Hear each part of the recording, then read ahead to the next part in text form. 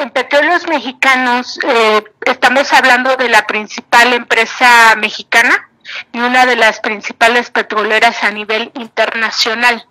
Petróleos Mexicanos en distintos momentos de su vida como empresa ha sido, eh, fue eh, eh, incluso referencia en, en, la industria petrolera, primero porque se tuvo el yacimiento, el segundo yacimiento más importante del mundo. el primero era un, yacimiento árabe, el segundo era Cantarel, y Cantarel pues fue como la joya de la corona, ¿no? En, en, México y que dio tanto dinero por tanto tiempo y sigue siendo todavía uno de los principales activos del petróleo. Eh, el gran problema en Pemex comenzó eh, cuando se le administró de manera corrupta eh, de manera eh, que se le empezó a ver sí como una caja chica y ahí sí es responsabilidad de quienes tenían que administrarla. Eh, había tantos recursos o fluían tantos recursos en torno a Pemex que quienes la administraban, al ser una empresa del Estado, pues comenzaran a saquear eh, y no había una revisión suficiente de lo que ahí ocurría hay que ubicar la importancia que tiene Pemex para México. Eh, en algún momento proporcionó el 47% del Producto Interno Bruto, lo que significa que la economía de México era petrolizada, o sea, dependíamos de totalmente de la industria petrolera. Entonces, para que se tenga una idea del nivel de, recursos y por qué nos debe interesar a todos la, la crisis en el saqueo que hay, pues porque mucho del dinero que se usa en el presupuesto para la educación, para la salud, para todo, es de petróleo o llega vía petróleos mexicanos. Eh, el gran problema fue la corrupción que fue creciendo y en Pemex los, los funcionarios públicos incurrían en excesos, por ejemplo, eh, los directores de Pemex de comprar eh, a costa de Pemex eh, los vinos más costosos, eh, vivir como reyes, ¿no? Y tener incluso muchos privilegios que ninguna otra petrolera del mundo los tienen. Ninguna petrolera privada da tantos privilegios como Pemex dio a sus directivos. ¿Y qué pasará en las estructuras más bajas de, de trabajadores? La lógica era que si los de arriba roban, ¿por qué nosotros no vamos a robar? Y así comenzó el robo de combustible. Comenzó como un tema hormiga en el cual eh, los empleados de los escalafones más bajos pues sustraían lo que tenían a la mano, que eran eh, las materias primas, los hidrocarburos eh, de, de, petróleos mexicanos, los refinados de petróleos mexicanos. Eh, comenzó de forma hormiga, y, y, pero se fue permitiendo esta actividad, se fue solapando, que creció y creció hasta convertirse eh, en una actividad que forma parte ya del, del crimen organizado.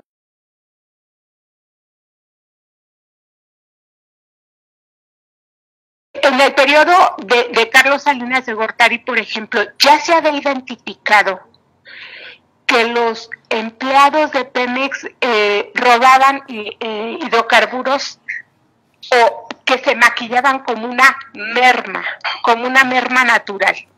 En el transporte de, de eh, el petróleo que se mueve vía marítima, por ejemplo, se decía que había una merma eh, natural en el transporte, pero esto no era cierto. Eh, hubo una auditoría interna que se llamó el proyecto piloto Santa Catarina a finales de los años 90 y en esa auditoría los auditores habían identificado que lo que se, se registraba contablemente como merma en los buques, sobre todo en el Golfo de México, no eran en realidad una merma, sino era un robo de combustible. Solo que esto eh, no, no eh, salía a la luz a pesar de haber sido detectado por auditores, auditores que formaban parte de, de, este plan que con el que ya en los años, a finales de los años 90, buscaban eh, frenar ese robo que se cometía en, en las regiones petroleras.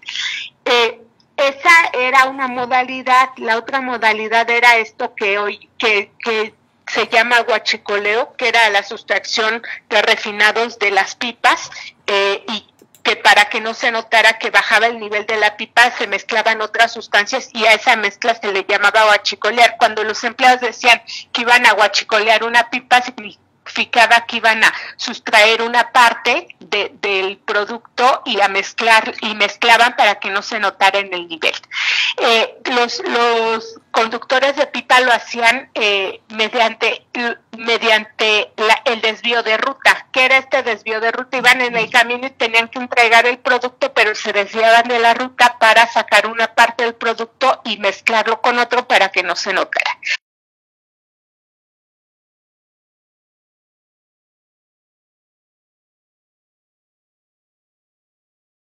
Otra modalidad es el robo vía eh, pipa en las terminales de llenado de, de Pemex que para sacar estos son embarques completos y para sacar estos embarques se usa o la doble factura, es decir, con una factura legal se sacan dos o hasta tres embarques o se usa facturas clonadas, se, clona una factura legal o de plano ya se permitía hasta que ingresaran sin factura.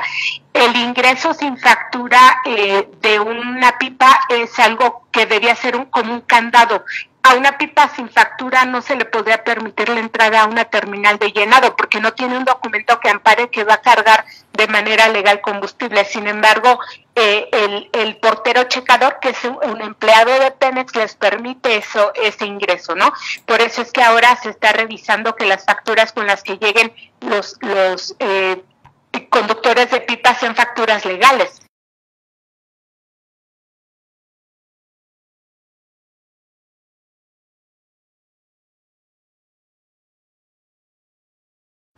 Por lo que ha descrito eh, esta, esta persona, coincide con eh, los testimonios que yo pude eh, obtener de empresarios del sector. y la modalidad es que, se empieza a, Pemex tiene un registro del flujo que recibe cada gasolina y lo que va a comercializar y esto además tiene que hacerse un cruce con, con el sector de Hacienda pero lo que pasaba era que las empresas gasolineras empezaban a comprar menos suministro a petróleos mexicanos y el resto del suministro se lo compraban a los a los ordeñadores o, guachicoleros.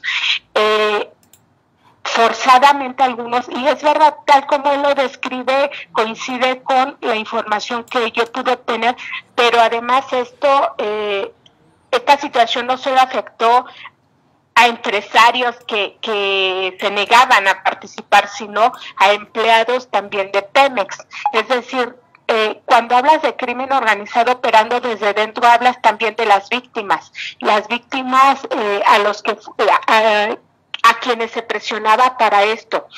En la en el norte del país, por ejemplo, en la cuenca de Burgos, donde los grupos del crimen organizado ya ordenaban directamente pozos o eh, asaltaban pipas, eh, los trabajadores que se negaban a participar, hay muchos casos de trabajadores también eh, amenazados o hay casos de trabajadores también desaparecidos. Y aquí es un tema que incluso recuerdo un caso de un pozo gigante uno que una cuadrilla completa fue desaparecida pero antes de, que esto ocurriera, ellos habían eh, reportado a la dirigencia sindical que eran objeto de amenazas cuando salían al campo a hacer su trabajo cotidiano y pedían seguridad para, para desempeñar su labor y nadie les hizo caso y estos trabajadores eh, fueron desaparecidos.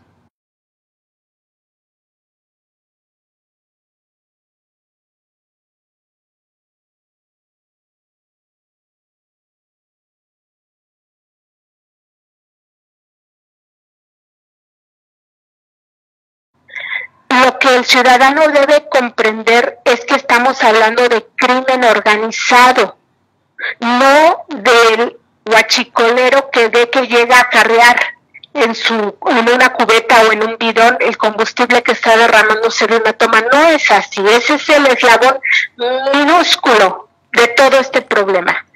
El gran problema es un tema de crimen organizado y el crimen organizado opera a muy, muy altos niveles. Opera en una combinación con el delito de cuello blanco, de lavado de dinero, de, muchos intereses, muchos. Estamos hablando de más de 200 millones de pesos cada día. Imagínense qué pasaría si en vez de robarse esos 200 millones de pesos, eso que, que es dinero público, o sea, dinero de todo el país, de todos los mexicanos, se designara a cualquier necesidad que hay en este país, porque este país tiene muchas necesidades por todas partes. Tiene grandes rezagos, eh, tiene temas muy dolorosos como es la pobreza extrema en, muchos estados o como es el tema de la migración, que la, la gente no tendría que ir a buscarse la vida a otros países a pasar penurias si en su país le ofrecieran una oportunidad como es obligación del Estado ofrecer. Este tema es bien complicado. Yo, yo he dicho que es un asunto de seguridad nacional y es un asunto del Estado. ¿Qué significa? Que sí compete a todas las instituciones, pero nos compete a nosotros como ciudadanos. Yo, yo que conozco a profundidad el problema, eh, creo que todavía nos falta hacer mucha conciencia de, de, la profundidad, de la gravedad del problema y de el papel que nos toca a cada ciudadano eh, eh, en, en, exigir sí que se saneen las finanzas de Pemex porque finalmente es nuestra empresa y yo creo que los mexicanos merecemos tener eh, instituciones sanas también porque se van a seguir robando el dinero de que de todos los mexicanos